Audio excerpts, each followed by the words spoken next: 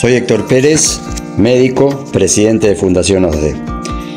El origen de 15 minutos para cuidar tu salud fue evaluar eh, toda una serie de patologías no comunicables que tienen una frecuencia muy importante, en donde casi 3 de cada 4 personas fallecen justamente por enfermedades cardiovasculares, infarto agudo de miocardio o ataque cerebrovascular. La idea fue empezar a trabajar en eso, controlando siete de los ocho factores esenciales que habla la Sociedad Americana del Corazón para evitar justamente estas enfermedades. Hemos estado por todo el país en distintos puntos, hemos evaluado más de 2.500 personas y nuestra idea fundamental desde la Fundación OSDE es estar trabajando junto a todas las personas, junto a toda la comunidad, como dice nuestro lema, estando junto a vos.